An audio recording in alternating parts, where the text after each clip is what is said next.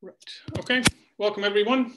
Uh, welcome back, I guess. So uh, we're happy to have Lennart this week uh, telling us about periodic versions of algebraic K-theory, if I remember correctly. Right. Thanks very much for the opportunity to speak in the seminar. Um, before, because this uh, series of seminar talks by people from Utrecht is also always a little bit about kind of what we do, not more, not only about the math.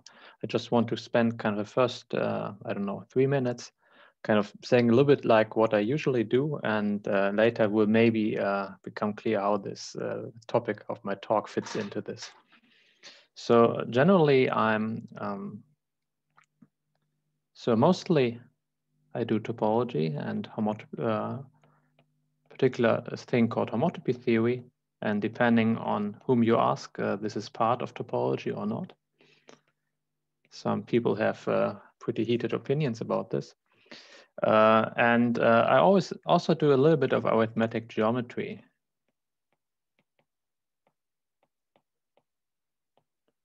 So, so roughly I would say I'm, uh, if I make a scale, uh, I would say I'm at, say, 90% uh, topology homotopy theory, 10% arithmetic geometry. Um, and so in arithmetic geometry, kind of to topics which interest me most are kind of moduli of elliptic curves. And uh, almost necessarily also a bit uh, about modular forms then. And there are things on the left-hand side on topology which have a lot to do with them called topological modular forms. And uh, there's also another thing which is almost the same called elliptic cohomology. So in this talk, I will say nothing about what this is. I only want to say that I uh, this is kind of one of the main things I work with. And so I also sometimes study these things as well.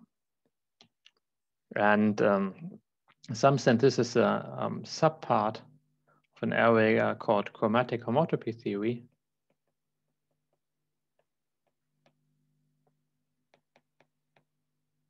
And uh, on the right-hand side, I could also write something about the moduli of formal groups. Um, this would be also related uh, to this chromatic homotopy theory on the left-hand side. So often I like to study things in homotopy theory topology, which are related to some things uh, which have something to do maybe with arithmetic geometry. So today I will talk about periodic versions.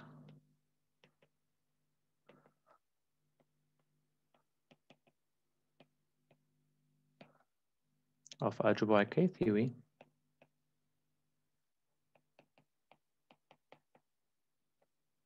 So, uh, so at a later stage, I will report in this talk about some joint work I did with Markus Land, Akhil Mathew, and Georg Tamme. Um, but so my basic plan is I first want to give an introduction to algebraic K-theory.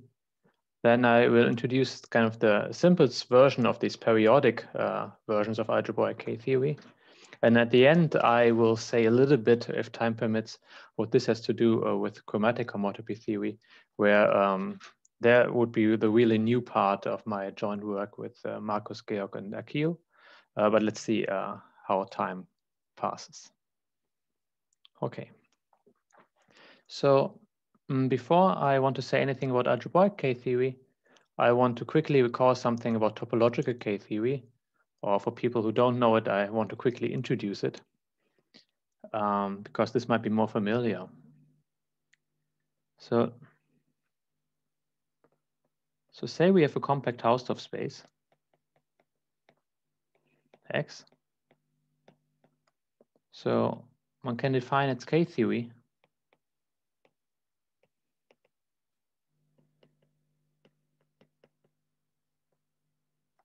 K of X in two steps.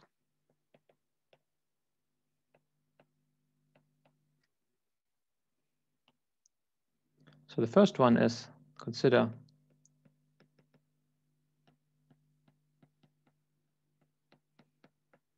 uh, isomorphism classes of complex vector bundles.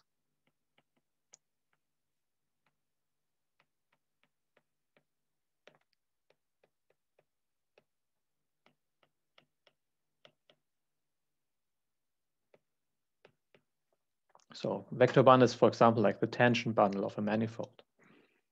Uh, I guess a complex manifold in this case. Um, and uh, note that I, uh, by default, I always assume that things are finite dimensional. So vector bundles we assume to be finite dimensional. And uh, so what can I do if I have two vector bundles? If I have two vector bundles, E and F, I can consider the direct sum. And uh, this makes uh, vect C into an abelian monoid. So what does abelian monoid mean? We have a uh, binary operation, in this case direct sum, which is commutative, associative, has a neutral element, namely the zero vector bundle, but doesn't have inverses. Or a priori not necessarily. And in this case, actually nothing except for the zero vector bundle has an inverse. Um, so, but the K-theory will be a group associated to X. So, so we need to have a, a second uh, construction. So given an abelian monoid,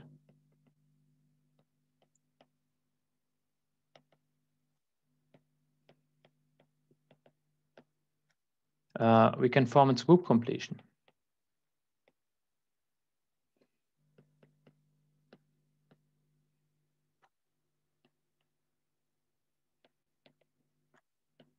Uh, denoted by M group. So this is also sometimes called the Grothendieck construction because Grothendieck was the first one who introduced this. Uh, and so I just want to say it informally. So elements are formal differences.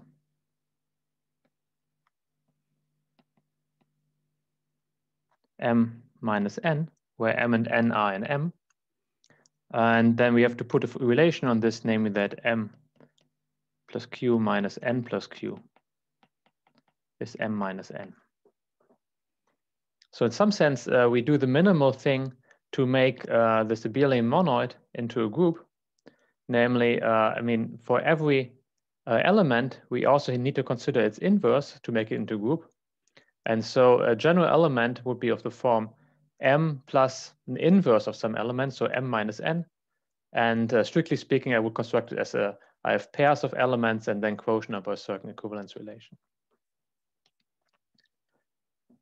Okay. And the example would be, uh, the easiest example would be if I take the natural numbers with zero and group completed, I get the integers. So this is essentially like the textbook definition of the integers. So, but note, uh, so note, I have a morphism from M to group completion is not, not injective in general.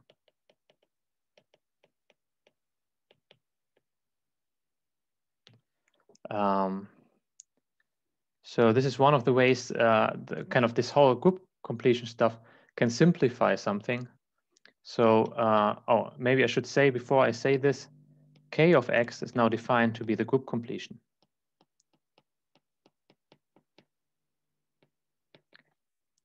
So, um, so this is simpler than uh, understanding vect C of X in two ways. First of all, working with groups is much more convenient than working with monoids.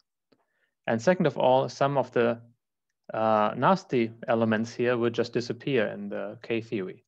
So for example, an example where we had real vector bonds instead of complex would be with tangent bundle of a sphere. Uh, we can add a one-dimensional trivial bundle to get a trivial bundle because it's a normal bundle of the sphere. And uh, so tangent bundle plus one-dimensional trivial bundle is a trivial bundle of dimension n plus one. But of course, trivial n-dimensional bundle plus one-dimensional trivial is also trivial n plus one-dimensional. So we can just, uh, uh, this implies that the tangent bundle in the K-theory class would be just a trivial bundle. So something simplify. Okay. So we throw out some information, but we can much easier work with these kind of groups. And I also say that to be precise, I should write K0 here because there are also uh, k groups in other degrees, and so I want to put the zero here. So any questions so far about the topological K-theory part? Well, your example used real bundles. Yeah, so I cheated. but I could complexify uh, any real bundle to get a complex vector bundle. But I find uh, real bundles, uh, I mean, complex bundles are easier to work with, but real bundles are somehow, somehow a little bit more intuitive maybe. Okay, so now there's a classic theorem by Serre and Swan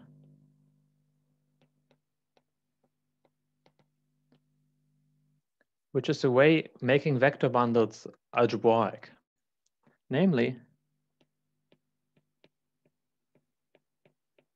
turns out that vector bundles uh, on X can be identified with isomorphism classes of projective modules over the ring of continuous uh, functions. So to be more precise, and I guess I should write not equal, but isomorphic. Precise is a continuous C-valued functions, which are ring by pointwise multiplication. And this thing here is uh, isomorphism classes.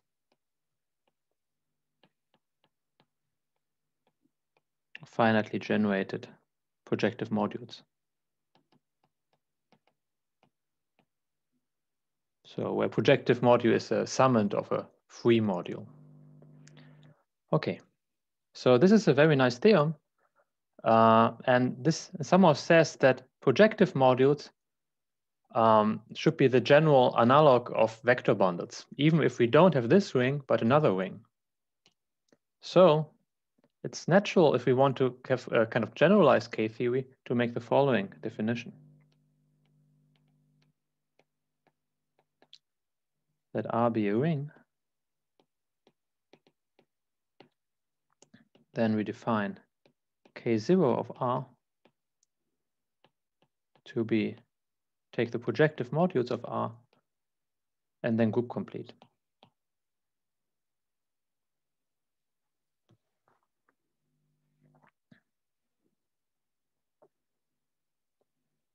And I write zero here as I wrote also zero here. And why do I write zero down here and I wrote zero up here? because uh, vector bundles are actually a contravariant functor uh, of the uh, space, while projective modules are covariant functor.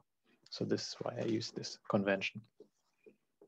Okay, so let's give some simple examples. So say I have some field. Well, I know that every projective module over a field is actually free. So this means that uh, proj of a field is in bijection with the natural numbers, sending n to the field to the n. So uh, this group completion is then the integers.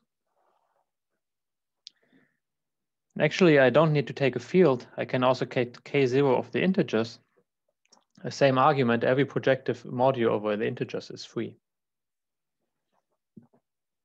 So, uh, but uh, this is not true in general. So for example, if uh, OF is a number ring, so a ring of integers in a number field. So, and if you don't know what this is, think of something like we take the integers and adjoin some root of some polynomial. So easiest one specific case might be we take, uh, we just adjoin a square root of minus five. Could take square root of any element or much more general. So then K0 of OF is isomorphic to Z. So the Z th thing I have always from the free modules plus a thing called the class group of F. So if you don't know what this is, don't worry about this, but if you have taken any course on algebraic number theory, you will have heard that the class group tells you a lot about the arithmetic of the uh, number field F uh, or of this ring. So for example, if we have uh, this square root of minus 5 thing, this class group would be Z mod 2.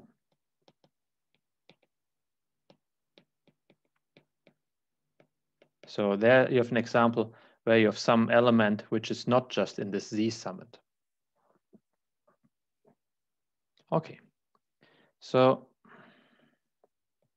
so this is a definition which uh, you can do and which you can use for a variety of reasons. You see that uh, you recover some important invariant in number theory by this. You can also use it, for example, uh, if you have just any ring and you want to study modules over this, this might be hard, even projective modules, but you want to simplify this theory. It might be a group ring, for example. Uh, this might be an example where uh, the modules uh, would be representations then.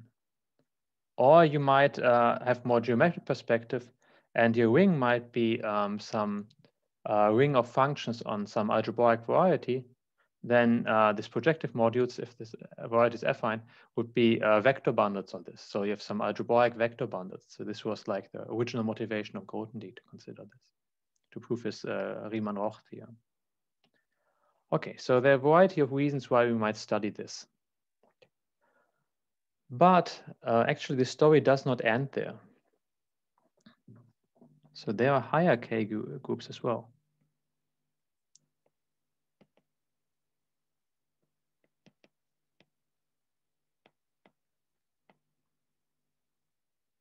So, uh, so um, Bass and Schanuel defined K1 of a ring. And actually this is uh, related uh, to work of Whitehead. Uh, there's so-called Whitehead group of a uh, of a group ring of a group, uh, which plays a huge role in high-dimensional topology, topology of high-dimensional manifolds. And this is uh, very much related to K1 of a group ring. So this, I think, is where Bass and Schanuel were motivated from to make the definitions. And and then they also discovered that uh, there are some exact sequences. So they exist.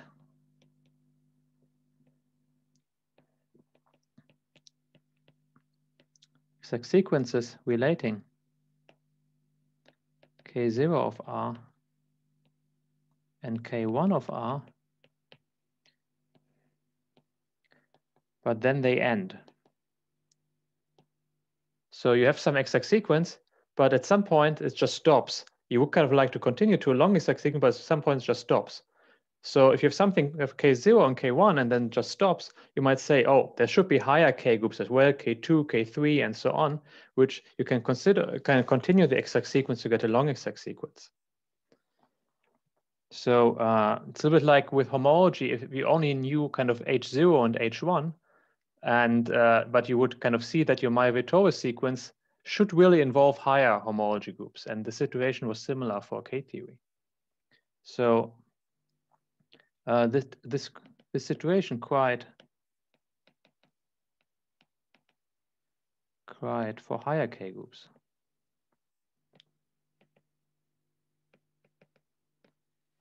And then uh, a rather complicated history at the end of the 60s begins with different people suggesting different definitions of higher K groups.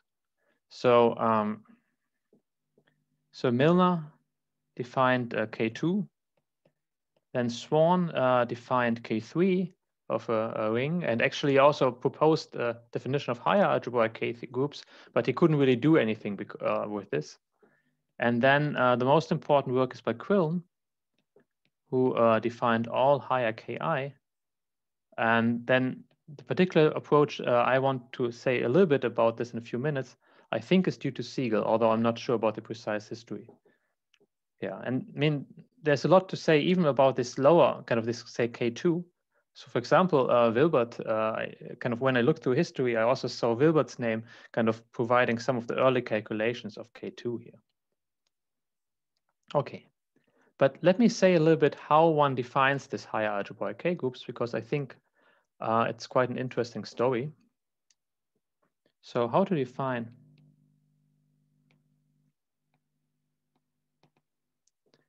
Ki of a ring. So the idea is don't only consider isomorphism classes,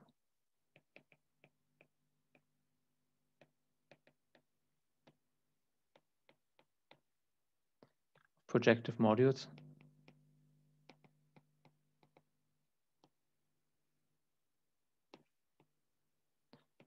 also the isomorphisms between them.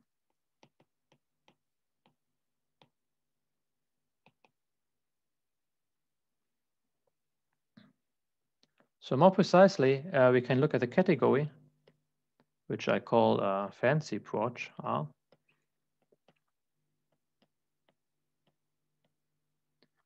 whose objects are projective R modules, finitely generated.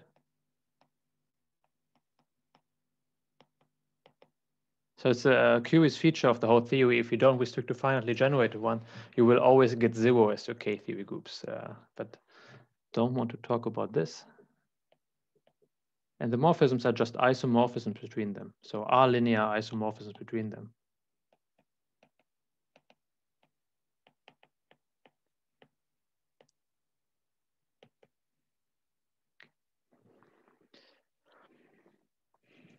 And there's a construction called the classifying space.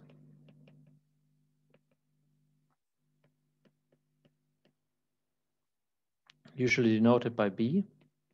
So this is a functor going from categories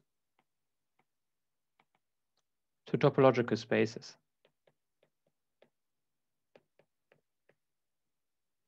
So to each category uh, with a set of objects, I can associate a topological space in a functorial manner. I don't want to give the definition of this uh, classifying space construction, but I just want to give one or two examples to illustrate this.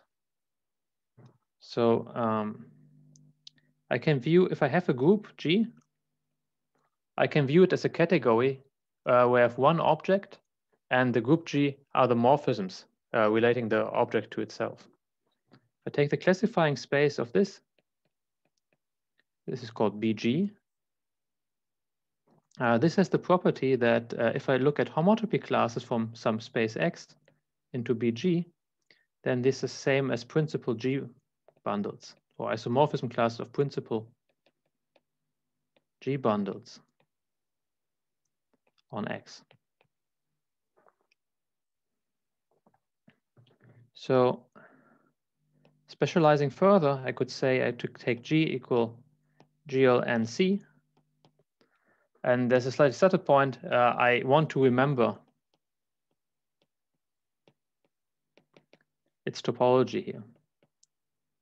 So I don't only want to consider as a group, but of course the complex numbers have a topology and I want to remember this here. And I can incorporate this into this classifying space uh, business.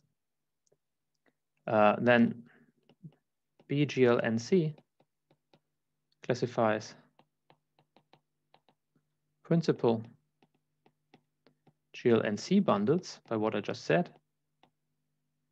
But uh, this is uh, the same up to isomorphism as n-dimensional complex vector bundles. So you get a space which is also homotopy equivalent to this Grassmannians. Okay, so you see this classifying space construction is in general a useful thing to do. So I might also just apply this to uh,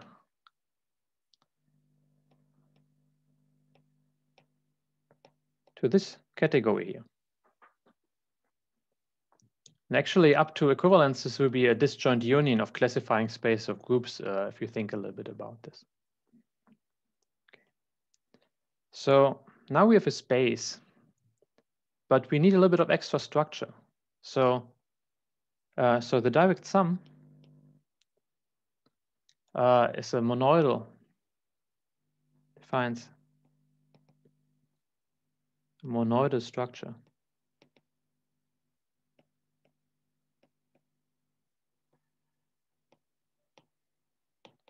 on this. Because I have two projective modules, I can just sum them. Um, and I don't want to define precisely what a monoidal structure is, but it's like a monoid, but uh, you put it on a category. So if you have two things, you can you can sum them. And it's uh, almost associative and commutative.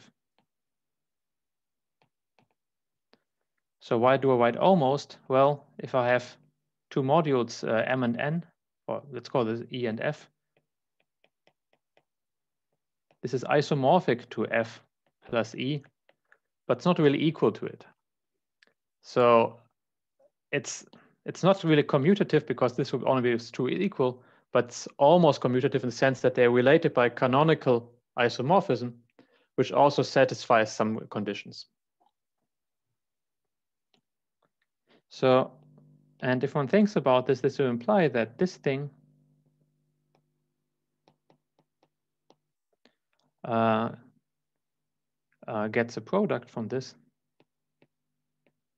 Okay, gets a kind of uh, monoidal structure.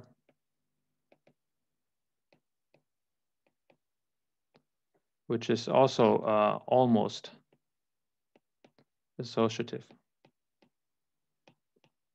and commutative. So I should say this is, uh, so topologists have uh, long studied uh, this kind of having a pro, some kind of product on a space which is not quite associative and not quite commutative, but certainly up to homotopy it will be commutative, up to some preferred homotopy which satisfies some higher conditions and so on and so on. So it's a bit difficult to set up precisely, but uh, the idea is hopefully clear. And, uh, and this is called an E infinity space. It's a bit like if you have the loop space of a space. So you can compose loops, but it's not quite associative because you have to rescale to make them kind of of length one again. Okay. So, so E infinity space is the analogon of what we had before considering the abelian monoid uh, which was Proj, the non-fancy Proj R. So now we beefed it up to a space version, which is not quite commutative, but almost, and this is called this infinity space. And it turns out that you can also apply group completion to the infinity spaces. And uh, the definition is, so the algebraic K-theory space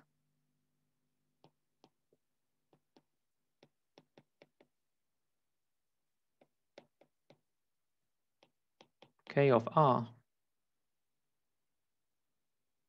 of uh, R is the group completion.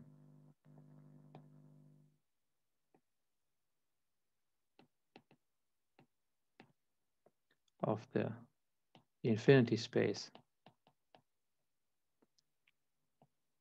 be fancy Proj of R. So this thing would be what one might call an E infinity group instead of an E infinity space or E infinity monoid.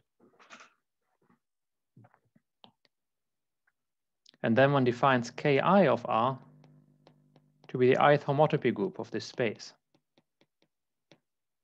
So uh, we call here that uh, the ith homotopy groups just means I take pointed maps, pointed homotopy classes from the i-dimensional sphere to K of R.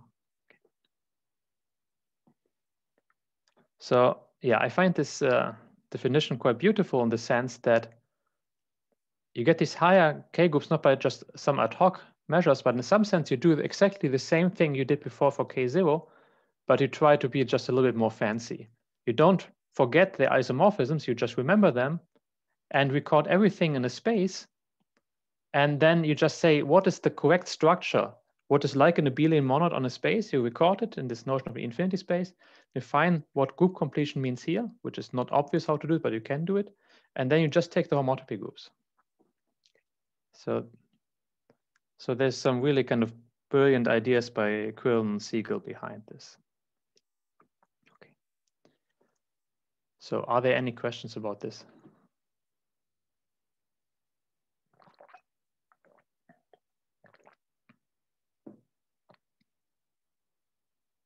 Okay, apparently not. And then the question, of course, is how can you actually calculate these groups? And the answer is it's extremely hard. So K1 is often quite doable. K2 is already, can be pretty difficult. but uh, and then it's even hard to calculate all of them. But actually, in some examples, you can do it. And uh, this was also one of the strengths of Quillen's work, that he couldn't only provide general definitions and abstract properties, he could actually calculate some examples. So about the simplest ring you could imagine is Fp, uh, the field with uh, p elements. And uh, we already saw that we get the integers if i is zero. And but Quillen could also calculate the other groups. So it's uh, zero p to j minus one if i is odd, and zero if uh, i bigger than zero is even.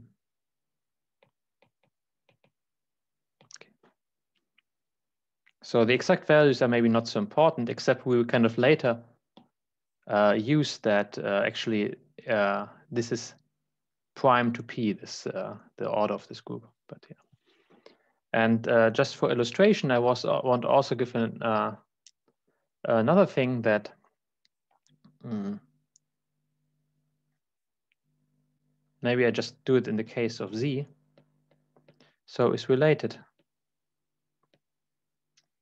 uh, to Bernoulli numbers.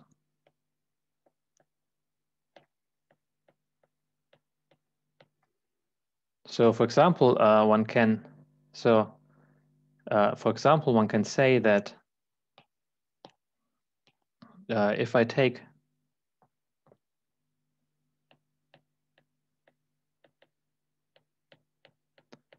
the order, so the higher k groups are of uh, z uh, many of them are finite. So every fourth one is not finite, but many of them is finite. And then there's a formula which says the following, that this thing is the same as the value of the Riemann zeta function at 1 minus 2k.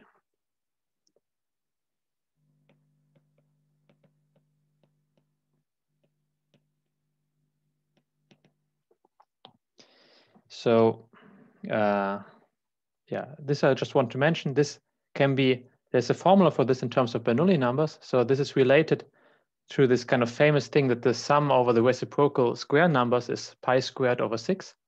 And there's some functional equation uh, relating the um, positive zeta values with negative ones and can be expressed in Bernoulli numbers. And then the funny thing is, or the interesting thing that these K groups also are related to this. And this uh, relationship actually not only true for the integers, but for any number ring, uh, there's a statement here where you would kind of put the Dedekind zeta function. And this is a very deep theorem. Uh, so uh, at least the general, at least the general version uses deep results uh, by uh, so by Andrew Wiles and by Voevodsky.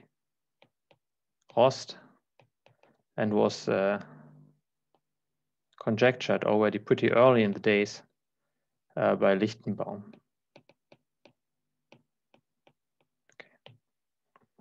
So these kind of K groups really kind of package also some arithmetic information. So even the higher ones.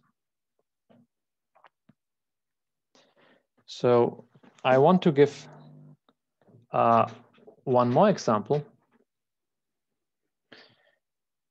So uh, I want to speak about K-theory of the complex numbers. So you might think this is related to top uh, topological K-theory.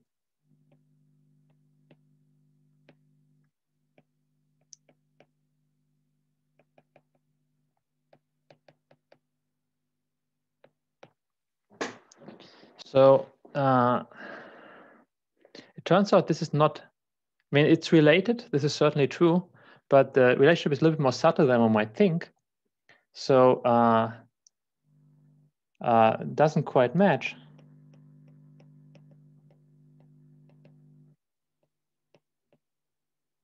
Unless we remember uh, the topologies. So what do I mean by this? When I look at proj C, well, what are complex, what are projective modules over the complex numbers? So just C to the n. So the category I would consider as I have here C to the zero, c to the 1, c to the 2, and so on. Uh, up to isomorphism, this is everything. And uh, what is the automorphism group? Well, it's just my GLNC. So uh, the classifying space of this is actually homotopy equivalent to disjoint union of BGL and C. Now, if I do algebraic K-theory, the general construction, I would just uh, view C as discrete groups. Because for the general ring, I wouldn't know what other topology to put on this. But it turns out if I remember the topology, then I get something which is closely related to uh, topological K-theory, which maybe not uh, so surprising because these things really classify n-dimensional vector bundles, as I uh, discussed earlier. So if I remember uh, if I remember um, the topology, uh, I might get something, the group completion would be something I might call uh, K topological of C. Then it turns out that the homotopy groups of this thing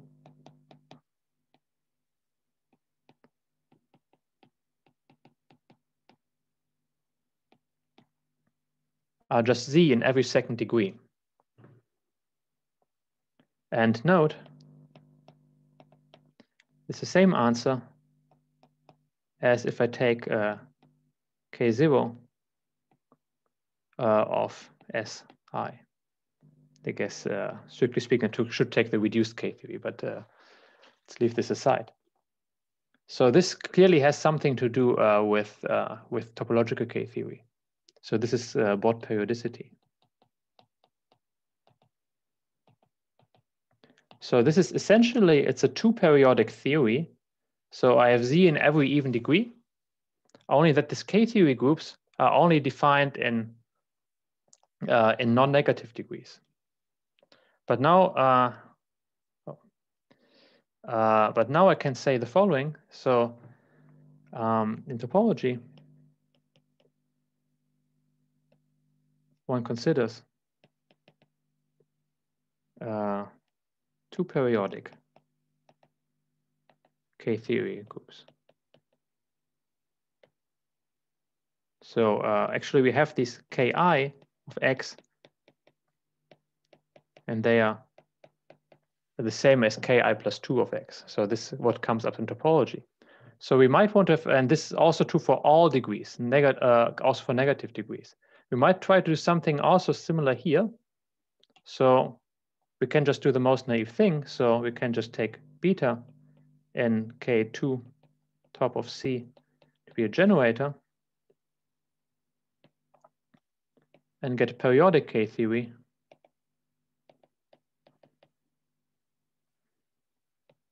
by just taking, uh, by just inverting this beta. So this is just something we could do, and then this would be uh, just uh, Laurent polynomials. And this would even fit better um, the K-theory groups. Uh, so then we would get that uh, this is the same thing as taking the K-theory groups of a point in topology. So this is a little bit of motivation why we might uh, want to do something like this. Okay.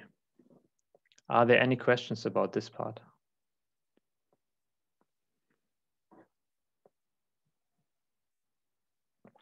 Okay, so uh, this way I gave in some sense an ad hoc construction how I could in one single example do something like periodic algebraic K-theory.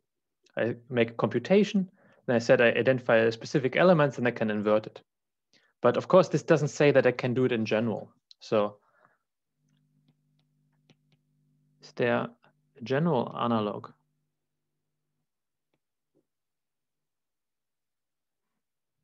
Uh, so some beta in K2 of a ring R. So I can get uh, a periodic uh, K theory of R, which would be K star R with beta inverted.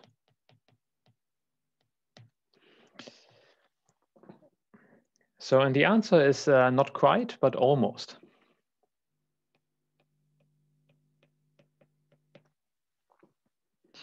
So, so this is some insights going back uh, to Adams uh, and then applied to K-theory, to Snaith and uh, Thomason especially. So Thomason really proved the crucial theorems about this. So it turns out there's actually something I can do for every infinity group. So for every infinity group, like this K of R I dis uh, discussed earlier, there is an operator beta going from the ith homotopy group, and I will add something in a moment here to um, the uh, i plus degree of beta uh, homotopy group. So this degree of beta doesn't need to be two. It could be two, like in the example I had here, where I could just multiply with the element degree two. But it could also be a higher degree. I will come back to this later. But actually, I have to quotient by p here. So like a usual commutative group, I can quotient by p. I can also do this for an E infinity group.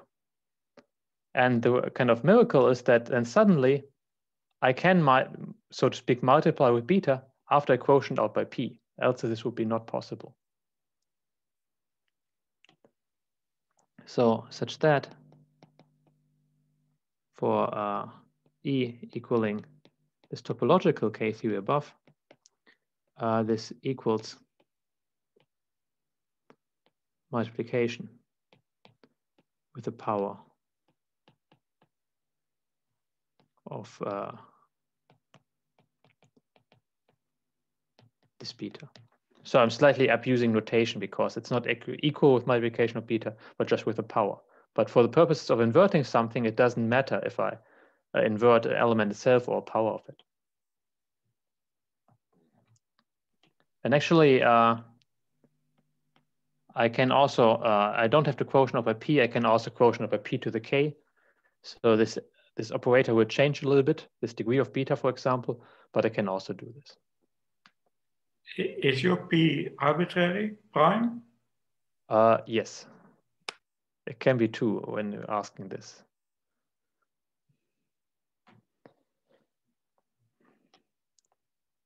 Okay, so uh, then I can uh, make a definition. I can say uh, k star periodic of R, and I put a z mod p to the k here is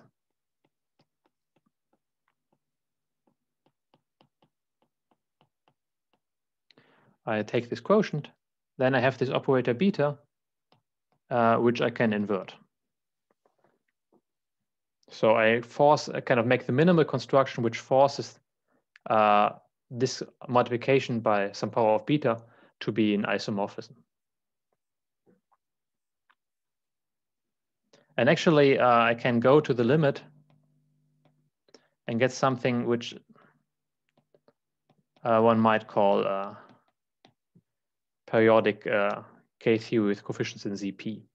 So this is slight misnomer because in general it won't be periodic anymore because uh, in a sense because this degree of beta grows with k, but let's just ignore this for a moment. Okay. Lennart, can I ask a question? Sure. Um, so if you scroll up a little bit, um, so if p is equal to 2, then this has something to do with uh, k-theory of orthogonal bundles, right, in geometric settings? Uh, uh, why? Well, I've seen constructions where uh, you join half and then, so if you have the Euler class of an orthogonal bundle, it's a square, so you can take a square root. And you can do similar operations than in K-theory. And then I've seen people adjoining a half, a one, but I, I don't know if that's related to this. Okay, so Okay, I'm not quite sure whether, so um, Okay, so one reason why often people join one half in context of uh, kind of taking K-theory of real bundles or orthogonal bundles is because uh, if you um, invert two, then uh, complex and real K-theory become extremely similar. So uh, real K-theory becomes a summand of complex K-theory uh, once you invert two everywhere. So in some sense, uh, this makes it much easier to study. So maybe this is something you're referring to, I'm not quite sure. But it's a different inverting uh, process than what I'm doing here because uh, this kind of inverting, this kind of kind of Bott element has nothing special to do with kind of anything orthogonal. Okay. There might be the difference between an involution in algebra and one in topology. Right. So I mean, uh, right. I mean, of course, the relationship between complex and weak K theory is very much governed by the uh, involution of uh, complex conjugation. But yeah, as I said, this I think is a little bit different story because these are not really involutions. Uh, more questions?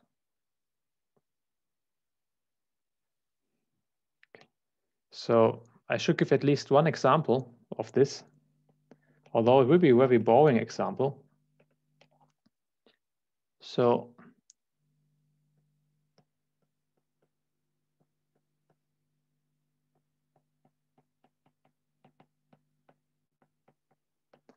So what is the periodic uh, K-theory of FP? Well, let me scroll up a little bit. So these were the homotopy groups of K of FP. So, so it's not quite true that if I quotient out by P in the infinity group, it's just taking the quotient modulo P of the groups. So it's more like the universal coefficient theorem in topology. So you have one quotient group and the other, you take the P torsion from the next group. But this doesn't really matter here. The kind of point is that uh, these groups will be completely killed because the uh, torsion respect to a number which is not divisible by P. So what does it mean is that if I take pi star of k of fp modulo p, this will be just uh, uh, z mod p if star is zero and zero else. Now uh, this element beta, which I invert, has positive degree. So uh, if it goes from zero to somewhere, it can only land in zero. And if I force it to be an isomorphism, well, then I force everything to be zero. Okay. So I have at least one example. Okay, so this is of course, uh, in some sense, a boring example, but I want to give you also a different theorem, which uh, lies much deeper. So it says if R is nice,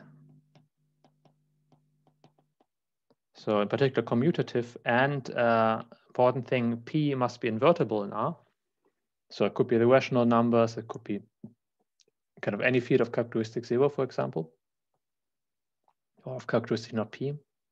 So then I can do two things. I can look at the ith k group of R, and I can complete it at P. So, uh, so for example, if it were the integers, then I get the p-adic integers there. Or if I get uh, Z mod, uh, say the K group would be Z mod P, then it just stays Z mod P. So this would be some examples of this operation. And I can map it into the periodic K theory.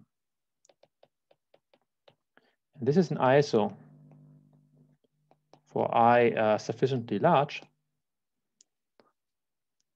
And actually, uh, sufficiently large is not very large in general. So e.g. for I bigger than zero uh, if uh, R is very nice, namely this ring here.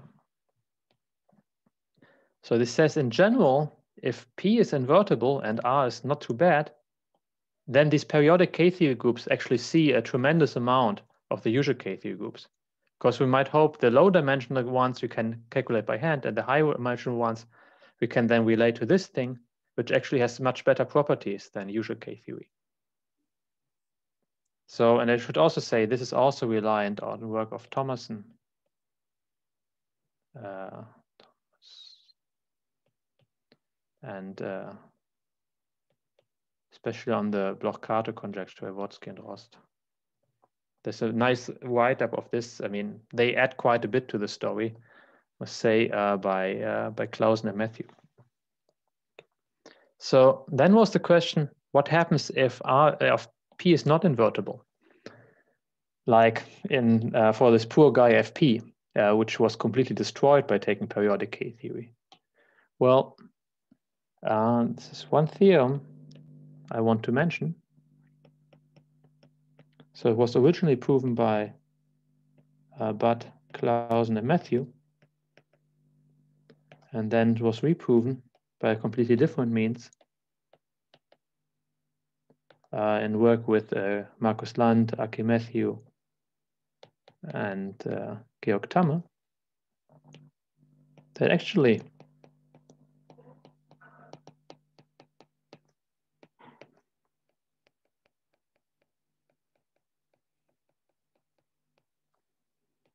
this periodic K theory doesn't see the difference if I invert P.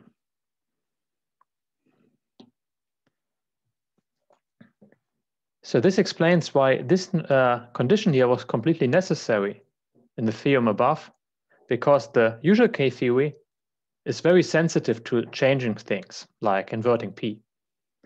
And but this guy uh, doesn't see the difference. And actually, this implies. Uh, Sorry, Lennart, is the theorem that that map is an equivalence? Nice. Oh yes, thank you. It's an isomorphism. Yeah, thanks. Uh, this implies uh, many other properties.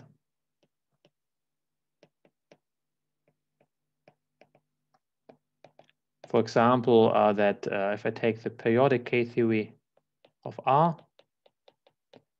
it's the same as uh,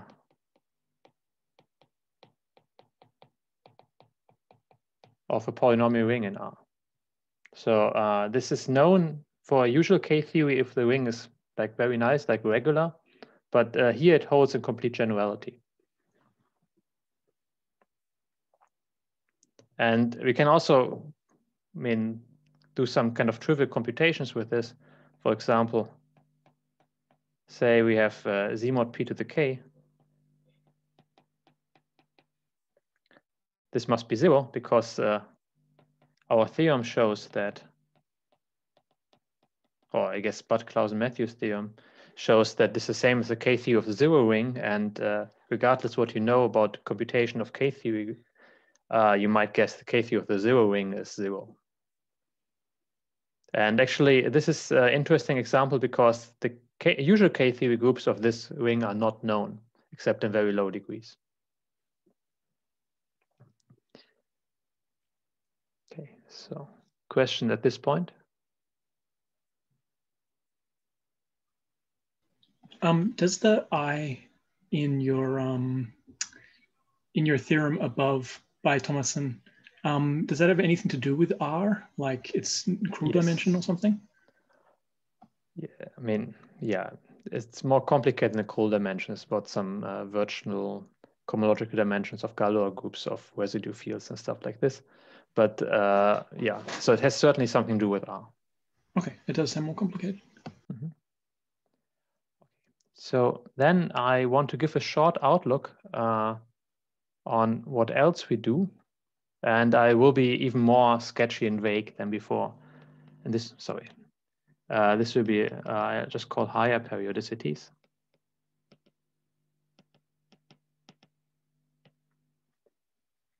So, so in every group, I can multiply an element by p in every abelian group. And I also explained above that, uh, let me scroll up for a moment, that if I have any infinity group, if I mod out by p, then I can multiply by some beta to get these operators. Well, it turns out that these two things are just the first two in a whole row of operators are the first two.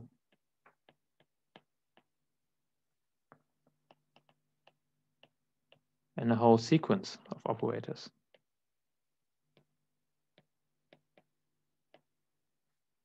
V0, V1, V2, V3, and so on. So e.g., if uh, E is an E infinity group, I said I can model by P, and before I inverted beta. But actually, there's also a process which says, okay, I just do the opposite. So it's like um, when I have a usual abelian group, I can invert P. This means I kill every P torsion. But I can also quotient by P. This will throw out all the kind of Q summands or something like this I have, but I really remember the P torsion. And there's a process where I can also quotient by beta here. But then I can invert the next guy, which would be V2. So there's a new operator appearing once I kill beta. Actually, I could also repeat. I could kill B, P beta V2, and then I can invert V3. So there are all these kind of operators. So this is actually part of chromatic homotopy theory. So uh, the bad news is this was uh, bad news proven by Mitchell that uh, if E is uh, K of R, where this is a ring, then this construction gives zero.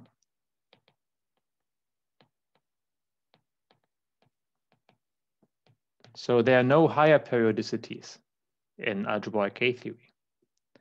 At least not in algebraic K-theory of usual rings. So but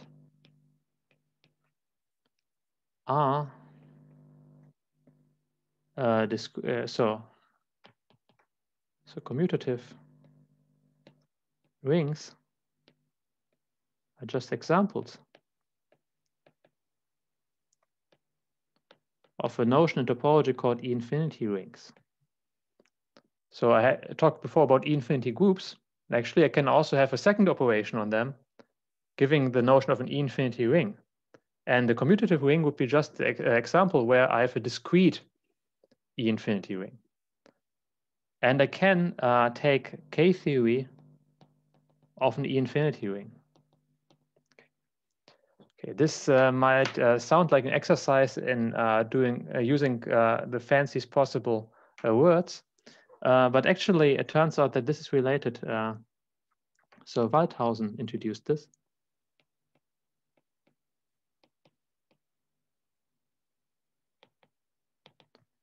Study high dimensional manifolds.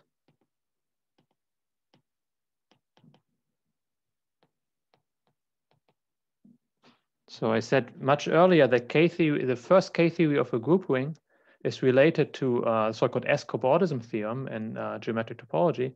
And there are refinements of the S-cobordism theorem by Waldhausen and uh, Rognes and Jahren, uh, which replace this K1 of a group ring by whole K-theory space of certain E infinity rings. So I don't, really don't want to go into the details here, but just to give you an illustration why one might do this. And then the theorem, which I will only state in very vague terms. So this is uh, by uh, this work with uh, Land, Mathew, and Tamme. Actually, uh, for time reasons, I only write the initials. We are kind of heavily dependent on some other work by Klaus and Mathew, Naumann, and Noel that taking uh, the K-theory of R and uh, doing this kind of construction, we quotient out by all the lower operators and then invert Vn. It's only dependent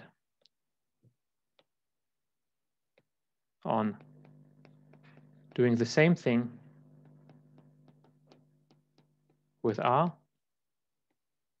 and also doing the same thing with R, but only going to n minus 2 level. sorry, n minus one level here. So it's not really dependent on R itself anymore, but just on these two guys. So this is slightly vague version of, uh, of the theorem we prove. And I'm running out of time, but uh, I don't uh, assume that uh, kind of you understand the details of this, but I just want to give uh, illustrate how this uh, generalizes our earlier theorem. So example, our usual ring, so nothing of these uh, fancy infinity rings. So, and let's take n equals one. So then this uh, k r mod p v1 inverted it's just the same thing what I earlier denoted k periodic of r uh, with z mod p coefficients. So the thing uh, which uh, this earlier theorem uh, here was about.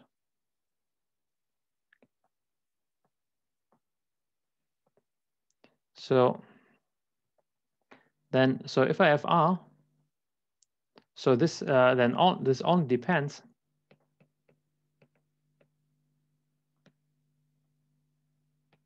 on R mod P with V1 inverted and on R, okay, now I have to kind of, uh, so if N is one, I don't quotient out by anything here and I just invert V0. And V0 in my dictionary above was just P. Just depends on these two guys. And it turns out that kind of inverting V1 in a discrete guy completely kills it. So this is just zero. So it doesn't add any information.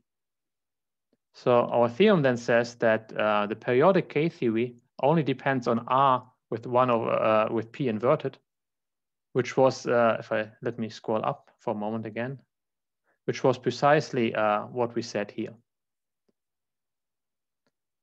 And uh, but the nice thing is that we can kind of do this for every n, uh, which is uh, kind of nice to discuss some other examples, which I really don't have time to go into. Okay, so I think this is everything I wanted to say. Okay, then let's thank Lennart.